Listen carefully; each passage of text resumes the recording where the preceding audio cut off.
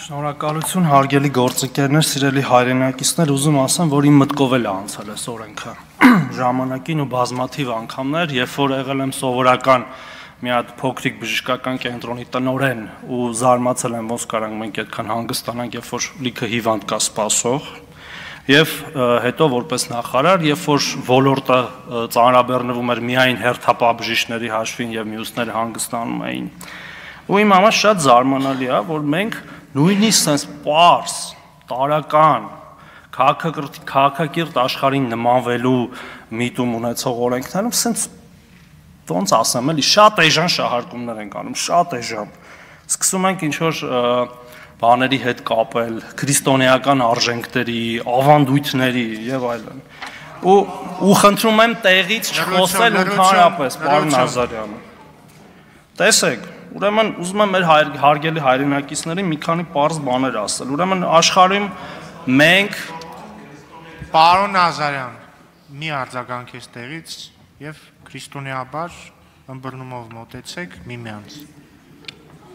Հա, աթեիստ եմ։ Հարցեր կան։ Ուրեմն ի տարբերություն շատերի ես չեմ թաքցնում իմ կրոնական պատկանելիությունը կամ չպատկանելիությունը։ Ուրեմն հարգելի քաղաքացիներ, Հայաստանի Հանրապետությունում ոչ աշխատանքային օրերի թիվը այդ թվով մենք աշխարհում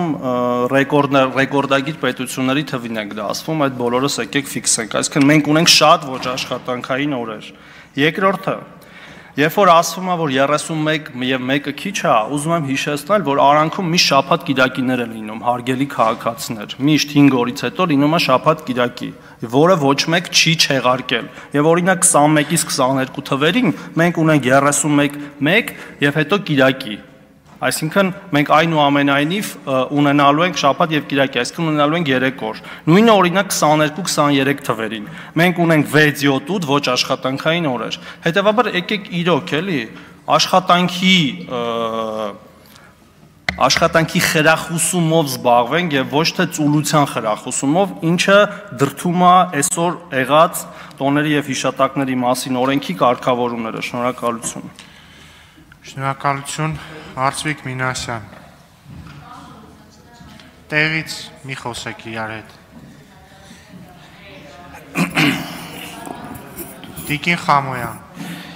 Անշուշտ նախաձեռնությունը պետք է շատ ավելի հիմնավոր քննարկել